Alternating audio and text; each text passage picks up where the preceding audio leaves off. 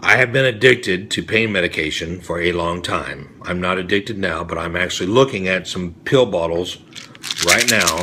It sounds to me like you have fallen back off the wagon. You need to get your junkie ass back into Narcotics Anonymous. And having watched his video, my only response is don't do drugs, kids. Don't do fucking drugs. Because if you do, you're going to end up as brain dead as that motherfucker. And do you really want to live your life being that stupid? Alcohol is a drug if it's used incorrectly. Getting a little tipsy right now. I've just finished sticking a dildo in my ass.